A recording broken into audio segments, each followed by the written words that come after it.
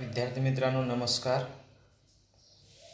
मराठी व्याकरण M T S आणि स्कॉलरशिपसाठी आपण मागील तासामध्ये शब्दांच्या जाती हा भाग पाहत होतो.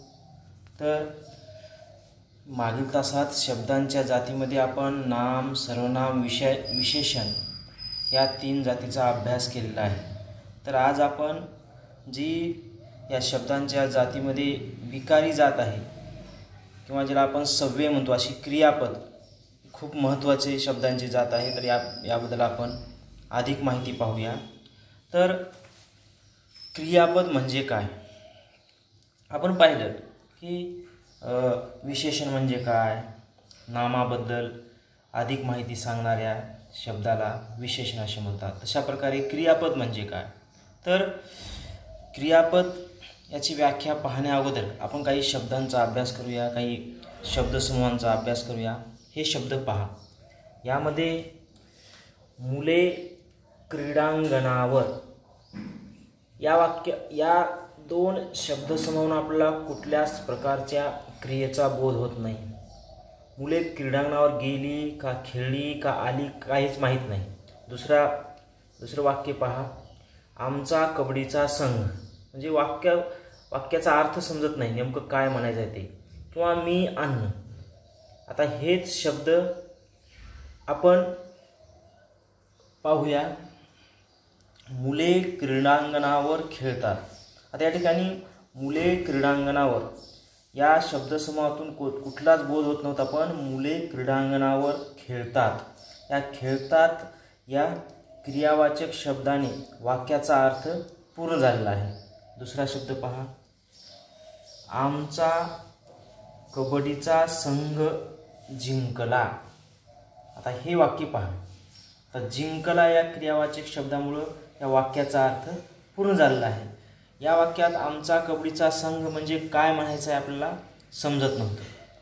मी अन्न खातो. खातो या क्रियावाचक शब्दाने वाक्याचा अर्थ पूर्ण झालेला आहे. म्हणजेच या शब या वाक्याला अर्थ प्राप्त झालेला आहे. म्हणून आपल्याला यावरून क्रियापदाची आपल्याला व्याख्या करता येईल की वाक्याचा अर्थ पूर्ण करणाऱ्या क्रियावाचक शब्दाला क्रियापद म्हणतात. आपला समजला असेल की वाक्याचा अर्थ पूर्ण करणारा शब्द आणि तो क्रिया करणारा क्रियावाचक शब्द त्याला आपण क्रियापद असे म्हणतो. समजलं विद्यार्थी मित्रांनो? क्रिया करणारा पद म्हणजे शब्द. की या क्रियापद या शब्दामध्येच अर्थ आहे.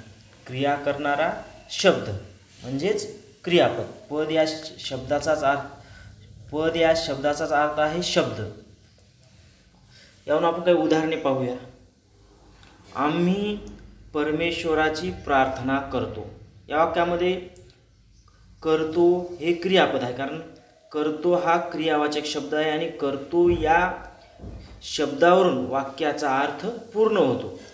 आम्ही परमेश्वराची प्रार्थना असं म्हटल्यानंतर वाक्याचा अर्थ पूर्ण होत नाही. करतो या क्रियावाचक शब्दामुळे वाक्याचा अर्थ पूर्ण होतो. म्हणून त्याला आपण क्रियापद असे म्हणतो.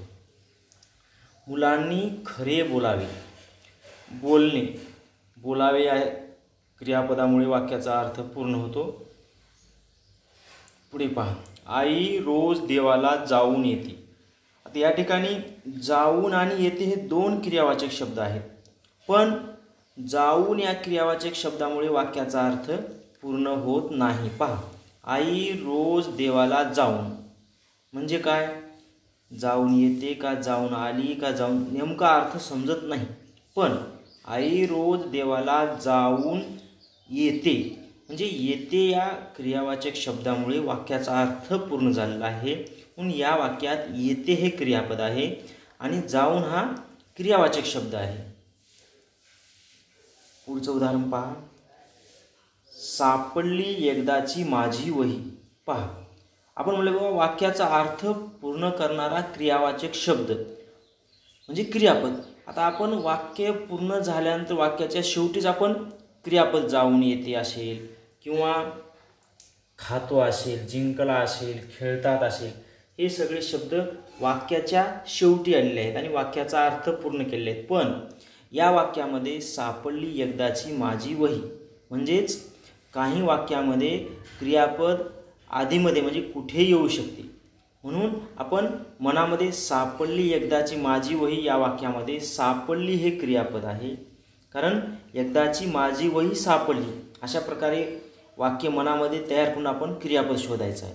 म्हणजेच एखाद्या वाक्यामध्ये आधीमध्ये सुद्धा मध्ये सुद्धा क्रियापद येऊ शकते. म्हणजेच विद्यार्थी मित्रांनो तुम्हाला समजलं असेल की क्रियापद हा वाक्याचा अर्थ पूर्ण करणारा असावा आणि क्रियावाचक शब्द असावा. म्हणून वाक्याचा अर्थ पूर्ण होत नसेल आणि तो क्रियावाचक शब्द असेल तर त्याला आपण क्रियापद म्हणता येणार नाही. समजलं ना? तर आपण याच्यानंतर जो भाग आहे म्हणजेच क्रियापदाचे जे प्रकार आहेत मुख्य सकर्मक क्रियापद आणि अकर्मक क्रियापद. आणि वाक्यामध्ये एखाद्या कर्ता कुठे असतो किंवा कर्ता कसा शोधायचा हे आपण नंतरच्या व्हिडिओमध्ये पाहणार आहोत. धन्यवाद.